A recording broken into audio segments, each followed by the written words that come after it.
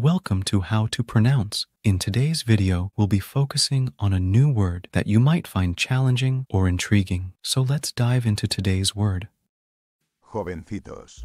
which means young boys or girls, let's say it all together. Jovencitos. Jovencitos. Jovencitos. One more time. Jovencitos. Jovencitos. Jovencitos. Thank you for joining us on this adventure in pronunciation. Remember, language is a journey, not a destination.